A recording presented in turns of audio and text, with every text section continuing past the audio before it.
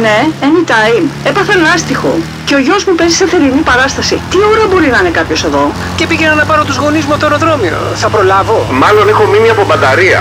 Πω, θα λιώσει και η τούρτα. Μην χάσω το ραντεβού μου, παρακαλώ. Έχω συνέντευξη για δουλειά. Έχω και τα παιδιά μαζί. Λίγο γρήγορα αν είναι εύκολο. Μόνο μην αργήσετε αν γίνεται. Με περιμένει ο παππού μου. Ανυπομονή. Με κάθε σας κλίση για οδική βοήθεια, στην Anytime δίνουμε μία υπόσχεση. Πως θα είμαστε άμεσα δίπλα σας. Γιατί κάθε σας στιγμή, μικρή ή μεγάλη, είναι σημαντική. Κάθε στιγμή περισσότερα. Anytime.